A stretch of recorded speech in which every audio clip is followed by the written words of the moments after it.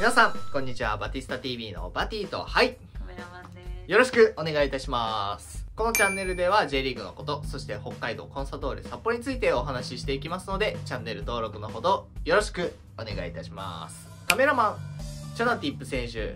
はいすごい選手でしたね。はい。もう今川崎に行っちゃいましたけれどもチャナはみんなに愛されて可愛いしね。深井とのコンビ狛江とのコンビもう癒されましたねっていうぐらい、まあ、コンサドーレの歴史に残る選手になったわけですけれどもチャナティップ選手が来る以前にも実は東南アジアの選手、えーコンサドーレ積極的に取ってました。その歴史をちょっと話していきたいと思います。今回はコンサドーレの東南アジア戦略についてです。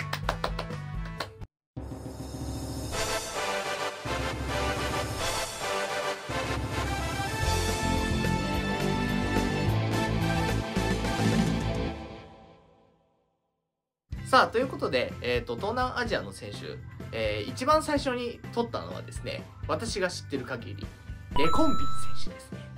カメラマンレコンビン選手名前聞いたことありますか？ありません。ありません。まあそうですよね。レコンビン選手はですねベトナムの英雄っていう、まあ、異名を持って日本に来日しました。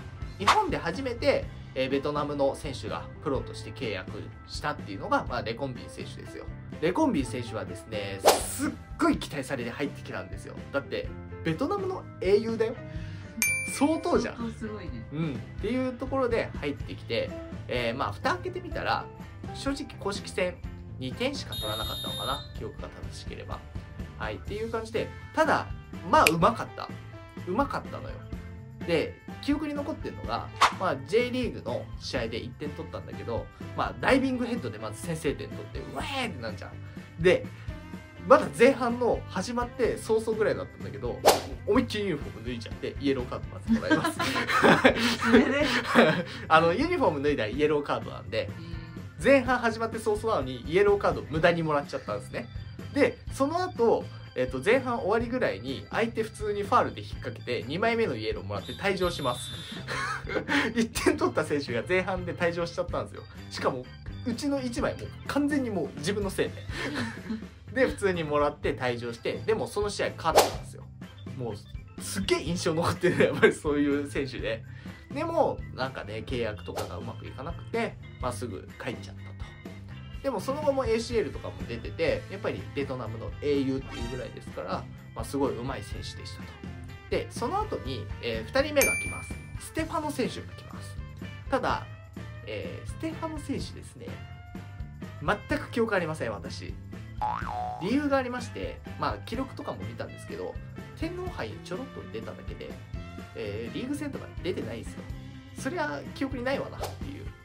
であのプレーとかも全く分かりません。なんでスンって入ってきてスンって思いました。っていうのが2人目のステファノ選手です。そして3人目僕が大好きな選手です。イルファンですよイルファン。なんすかその反応さっきから。知らない選手ばっかりでさみたいな。すごい重要ですからね。このチャナティップという宝に巡り合うまでにここまで苦労を重ねてるんですよ。その中でも僕はこのイルファン選手めちゃめちゃ好きでまず足がすげえ速い。足が速いから周りの選手をもう置き去りにするんですよ。ただただそこでパス出すかとかそこでシュート打たないかみたいなちょっとあの迷うプレーが多い選手ででもそれだけすごく魅力的な選手で一発ある選手でした。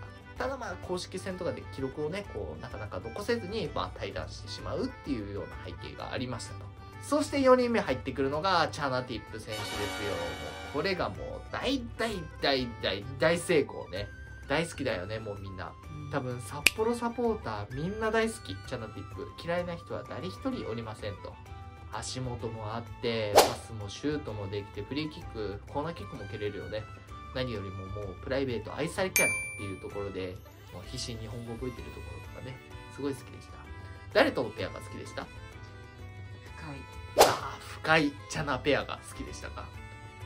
俺はやっぱりトクラなんだろうなこのトクラがえー、とチャナをこういい感じに使ってるというか あの深くは言いませんけれども仲いいんだよもちろん。仲いいんだけれども SNS 戦略うめえなっていうのが、まあ、徳良選手あってでもすごい仲良さそうでねよかったなと思います。やっぱりケンさんお金って言ってたからまあその通りでしたけれども。いやまああんま言わないですけどね。うんうん。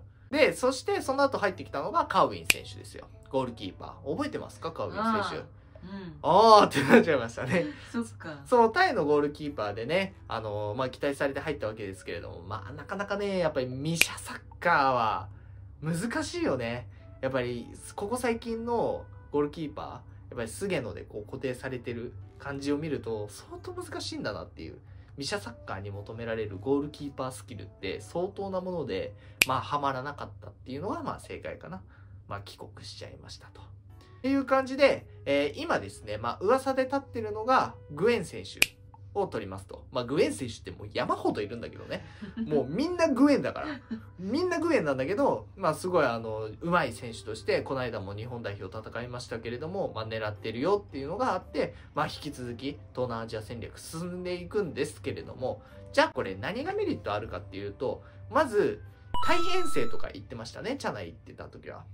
はい、それができたことによってタイでもコンサドーレのユニフォーム着てる人がいるわけですよありえないでしょ。それにスポンサーついてくれるとこも増えました。ガリガリ君とかね。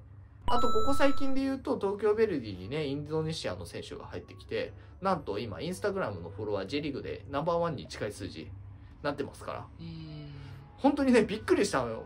2. 点何万とかのあのインスタのフォロワーだったんですけどそこから一気に1020と伸びまして1日2日ぐらいで。なぜか東京ベルディに今20何万人フォロワーがいるっていう 異常現象が起きてるぐらいやっぱり東南アジアにとって日本ってすごい重要なところなんですよ。理由は簡単でやっぱり日本製のものが売れてたりするしやっぱりあのプレミアリーグとかってまた夢のまた夢で、まあ、手軽に J リーグっていう、まあ、アジアの中でも最高峰のところに行けたらあそれはすごいねっていうので、まあ、向こうもね現地時間近いし見れるっていうのがあって、まあ、日本そして東南アジア戦略っていうのは今後も続くんじゃないかなと思っております個人的にはねあのティーラトンとかティーラシンとかも来ましたからあの流れでタイの選手いっぱい来るかなと思ったんですけれども、まあ、ここ最近ちょっと落ち着いちゃったねまあ今後もね、あのいろんな東南アジアの選手をコンサドーレは積極的に取ってほしいなと思っておりますので、ここはもう三上さん頑張ってください。もうこのコロナ禍でね、ちょっと途絶えちゃった部分はありますけれども、なんとかなるでしょう。三上さんならやれるでしょう。お願いいたします。まあね、今、東南アジアの選手について話していったんですけれども、まあこれブラジル人選手バージョンとかでやりたいね。カメラマンはね、まだサポーターになって2、3年ぐらいなんでね、あんまり外国人選手わからないですよね。え、もしかして眠くなってます？違うよ誰が言ったかなブラジル人選手えーカメラマンが眠くなってきてしまいましたので、ここら辺で動画を終了したと思います。皆さんのお気に入りの選手、ぜひ教えてください。僕はフェホ選手がすごい好きでした。それでは皆さん、また次の動画でお会いしましょう。チャンネル登録よろしくお願いします。それじゃあ、またねーカメラマンも。ままたねまたねー